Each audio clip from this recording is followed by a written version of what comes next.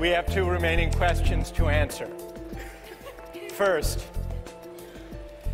is it necessary, is it unavoidable to take up questions of the good life in thinking about justice?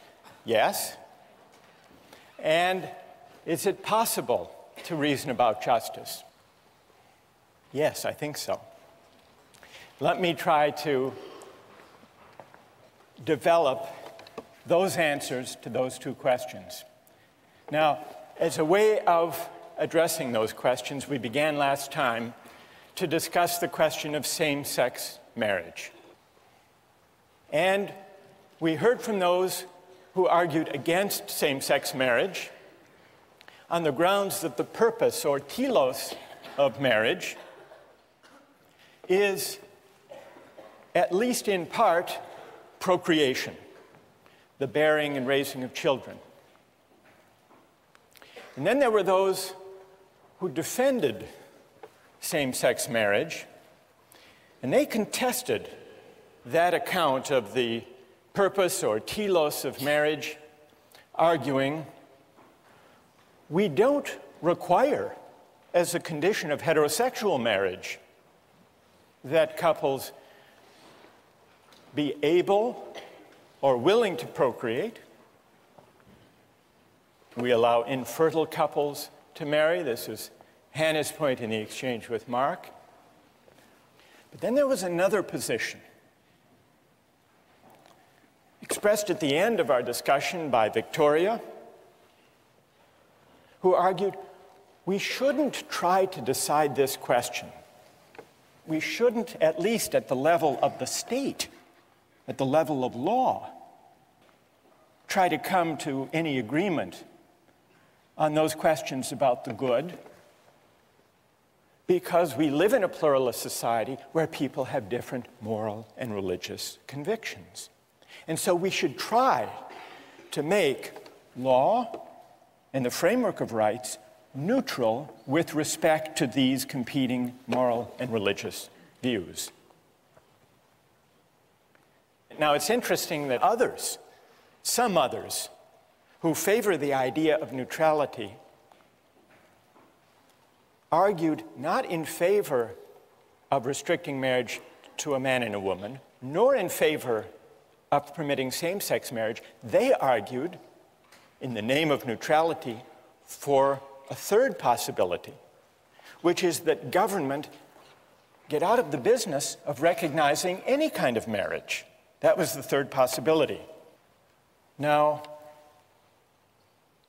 Andrea Mayrose had an interesting contribution to this debate. She had a rejoinder to people who argue for neutrality. Where is Andrea? All right.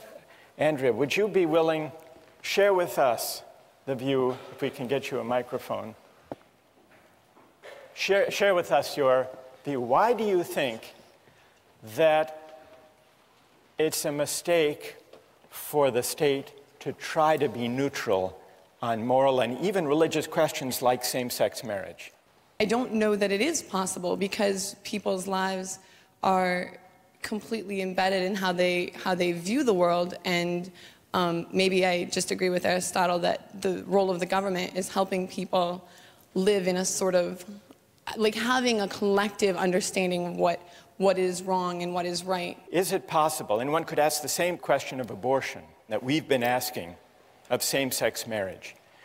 Do you think it's possible to decide whether abortion should be permitted or prohibited without taking a stand or making a judgment about the moral permissibility of abortion?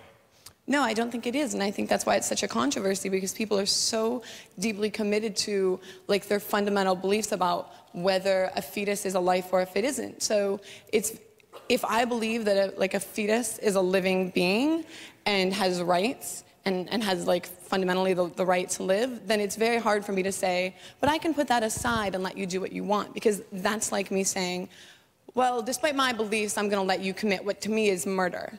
So, and I mean, that's just, that's All just right, one. and the, analo- the analogy in the same sex marriage case is you said you're a defender of same sex marriage, Yes. but you only came to that view once you were persuaded on the underlying moral question. Right. Well, I think particularly in the U.S., so many people's um, beliefs are driven by their religious beliefs.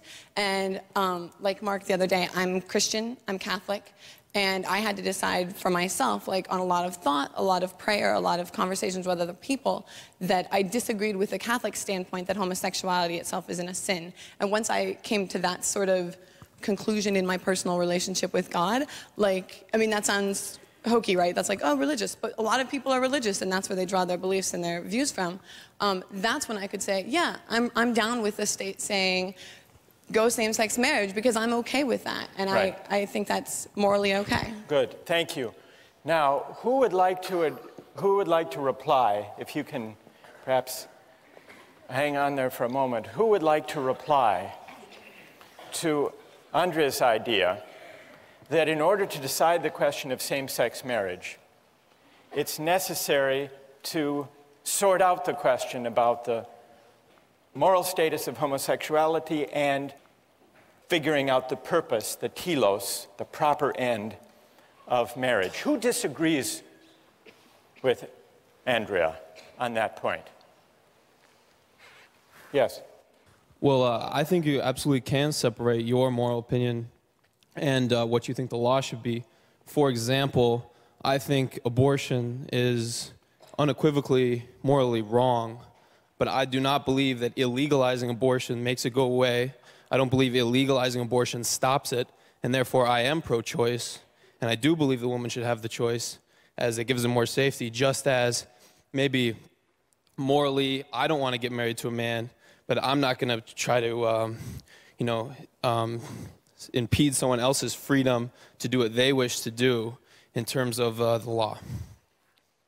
Andrea? Whether the law makes something legal or illegal is it's implicitly um, approving or disapproving something. So if you say, like, by making abortion legal, we're saying it's okay. As a society, collectively, we're saying it's okay with us in our society to abort a fetus. If we make it legal, um, if we make it illegal, then we're saying collectively a, as a society, it's not okay. And that's why societies and have tell, different beliefs. Tell us your name before My name is Daniel. Daniel, what do you say? Are, are we saying collectively that it's okay? Are we saying that collectively we don't want women who are going to have an abortion anyway to go to clinics in the side alleys and have it, you know, un unsafe conditions? All right, bring it to the same-sex marriage case. Why don't you have to decide that which position you're in favor of same-sex marriage, Daniel, uh, being legally I'm, permitted? I think it absolutely should be legally permitted because it's not something telling me that I need to have, I need to marry a man. I, I absolutely don't, I don't see, if two men are consenting adults and want to get married, I don't see how I could even object to that. All right, there's no harm. There's, there's no, no, harm, harm, done either way, even if it, even if, even if it is morally wrong according to me. All right, let, let me um, let me turn to the way the Massachusetts court, who made this landmark ruling in the same-sex marriage case, grappled with the very issue that Andrea and Dan have been uh, discussing here. Thanks to both of you very much. What did the court say? This was in the Goodridge case, which required the state of Massachusetts to extend marriage to same sex couples. The court started out, well, the court was conflicted. If you read that opinion carefully, the court was conflicted as between the two positions we've just been hearing, defended by Andrea and by Dan. The court begins, and this is Chief Justice Margaret Marshall's opinion, it begins with an attempt at liberal neutrality. Many people hold deep seated religious, moral, and ethical convictions that marriage should be limited to the union of one man and one woman, and that homosexual conduct is immoral. Many hold equally strong religious, moral, and ethical convictions that same sex couples are entitled to be married, that homosexual persons should be treated no differently than their heterosexual neighbors. This is the court. Neither view answers the question before us. What is at stake is, quote, respect for individual autonomy and equality under law. At stake is an individual freely choosing the person with whom to share an exclusive commitment. In other words, at issue is not the moral worth of the choice, but the right of the individual to make it. So, this is the liberal neutral strand in the court opinion, voluntary strand, the one that emphasizes autonomy, choice, consent. But the court seemed to realize that the liberal case, the neutral case, for recognizing same sex marriage doesn't succeed, doesn't get you all the way to that position. Because if it were only a matter of respect for individual autonomy, if government were truly neutral on the moral worth of voluntary intimate relationships, then it should adopt a different policy, which is to remove government and the state altogether from according recognition to certain associations, certain kinds of unions, rather than others. If government really must be neutral, then the consistent position is what we here have been describing as the third position, the one defended in the article by Michael Kinsley, who argues for the abolition of marriage, at least as a state function. Perhaps a better term for this is the disestablishment of religion. This is Kinsley's proposal. He points out that the reason for the opposition to same sex marriage is that it would go beyond neutral toleration and give same sex marriage a government stamp of approval. That's at the heart of the dispute. In Aristotle's terms, at issue here is the proper distribution of offices and honors, a matter of social recognition. Same sex marriage can't be justified on the basis of liberal neutrality or non discrimination or autonomy rights alone, because the question at stake in the public debate is whether same sex unions have moral worth, whether they're worthy of honor and recognition, and whether they fit the purpose of the social institution of marriage. So, Kinsley says, you want to be neutral? Then let churches and other religious institutions offer marriage ceremonies. Let department stores and casinos get into the act if they want to. This is Kinsley. Let couples celebrate their union in any way they choose and consider themselves married whenever they want. And if three people want to get married, or if one person wants to marry himself or herself, and someone else wants to conduct a ceremony for them and declare them married, let them. If you and your government are implicated, what do you care? This is Kinsley. But this is not the position that the Supreme Judicial Court of Massachusetts wanted. They didn't call for the abolition or for the disestablishment of marriage. The court did not question government's role in conferring social recognition on some intimate associations rather than others. To the contrary, the court waxes eloquent about marriage as, quote, one of our community's most rewarding and cherished institutions. And then it goes on to expand the definition of marriage to include partners of the same sex. And in doing so, it acknowledges that marriage is more than a matter of tolerating choices that individuals make. It's also a matter of social recognition and honor. As Justice Marshall wrote, in a real sense, there are three partners to every civil marriage two willing spouses and an approving state. Marriage is at once a deeply personal commitment, but also a highly public celebration of the ideals of mutuality, companionship, intimacy, fidelity, and family. This is the court. Now, this is reaching well beyond liberal neutrality. This is celebrating and affirming marriage as an honorific, as a form of public recognition. And therefore, the court found that it couldn't avoid the debate about the telos of marriage. Justice Marshall's opinion considers and rejects the notion that the primary purpose of marriage is procreation. She points out that there's no requirement that applicants for a marriage license who are heterosexuals attest to their ability or their intention to conceive children. Fertility is not a condition of marriage. People who cannot stir from their deathbed may marry. So she advances all kinds of arguments along the lines that we began last time about what the proper and the essential nature, the telos of marriage is. And she concludes not procreation, but the exclusive and permanent commitment of the partners to one another is the essential point and purpose of marriage. Now, nothing I've said about this court opinion is an argument for or against same sex marriage, but it is an argument against the claim that you can favor or oppose same sex marriage while remaining neutral on the underlying moral and religious questions. So, all of this is to suggest that, at least in some of the hotly contested debates about justice and rights that we have in our society, the attempt to be neutral, the attempt to say it's just a matter of consent and choice and autonomy, we take no stand, that doesn't succeed. Even the court, which wants to be neutral on these moral and religious disputes, finds that it can't. What then about our second question?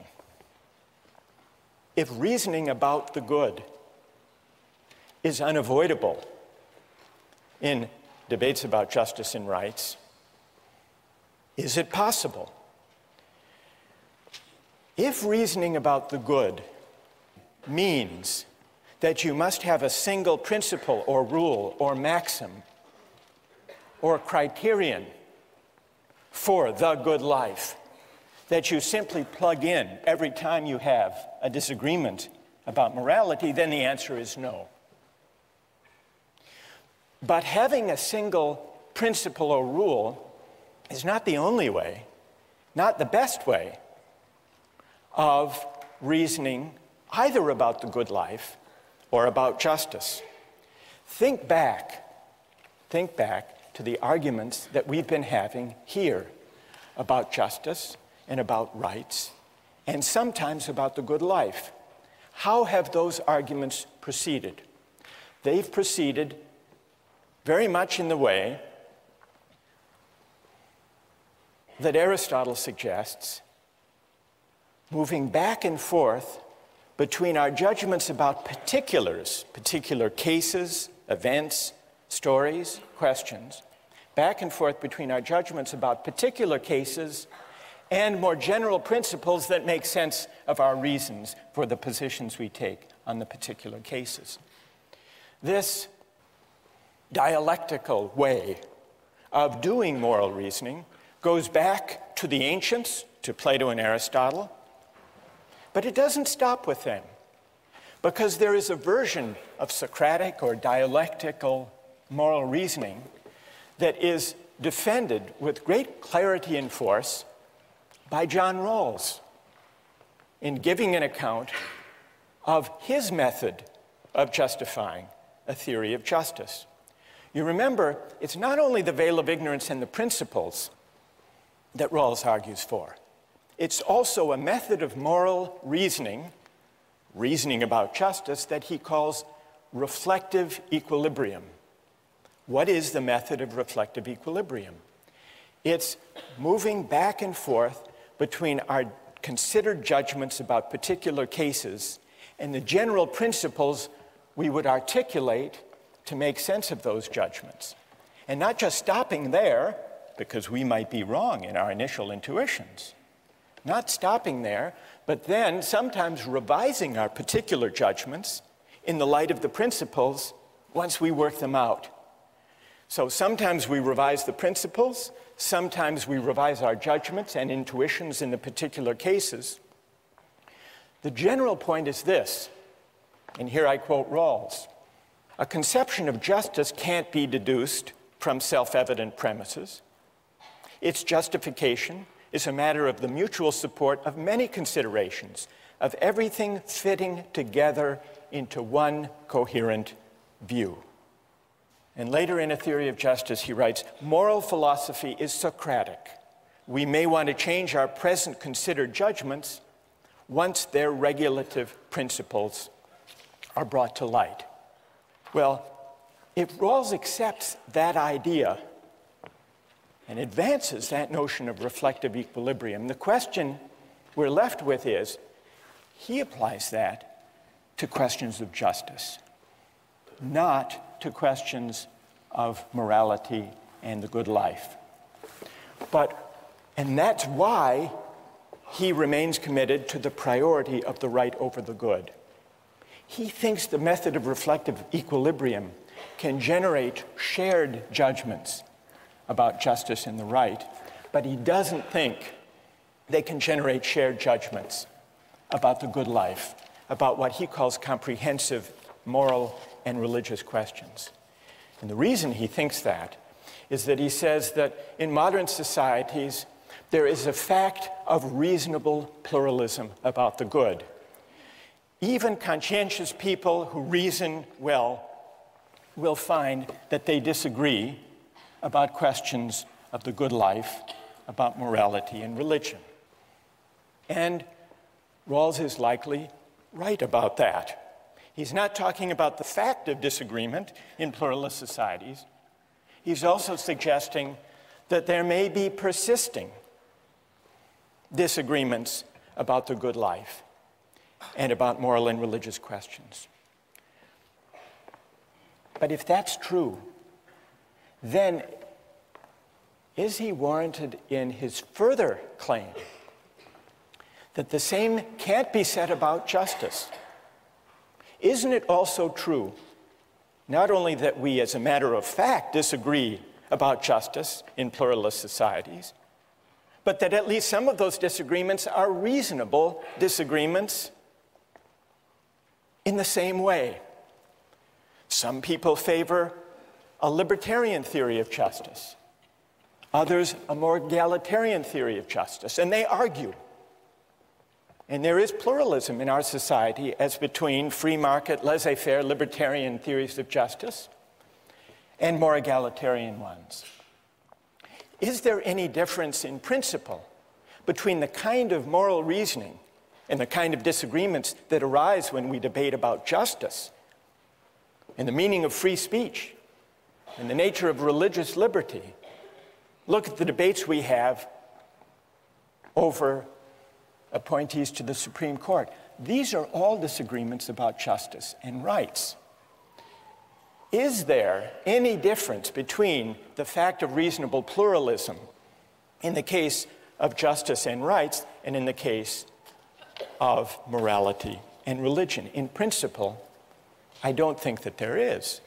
In both cases, what we do when we disagree is we engage with our interlocutor, as we've been doing here for an entire semester. We consider the arguments that are provoked by particular cases. We try to develop the reasons that lead us to go one way rather than another. And then we listen to the reasons of other people.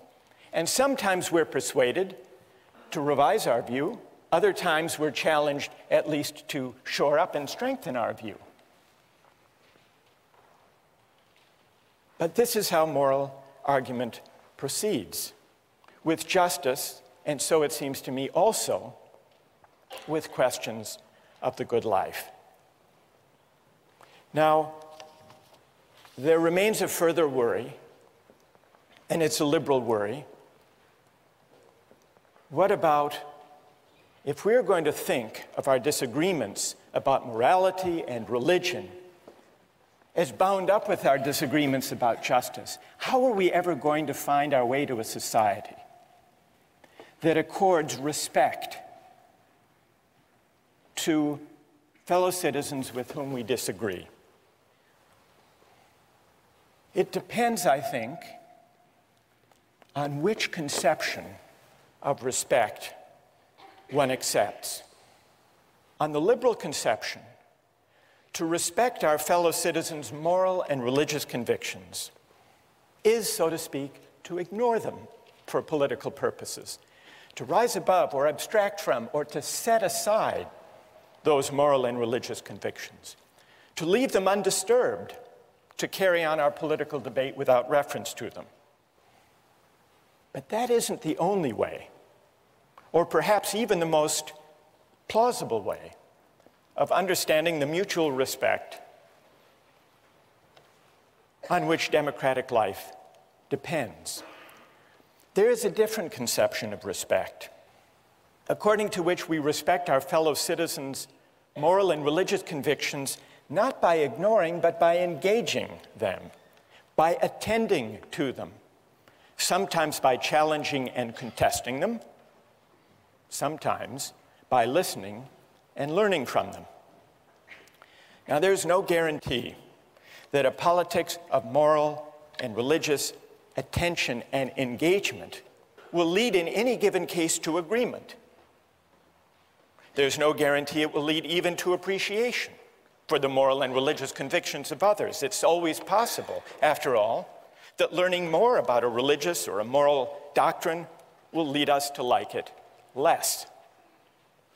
But the respect of deliberation and engagement seems to me a more adequate, more suitable ideal for a pluralist society. And to the extent that our moral and religious disagreements reflect some ultimate plurality of human goods, a politics of moral engagement will better enable us, so it seems to me, to appreciate the distinctive goods our different lives express.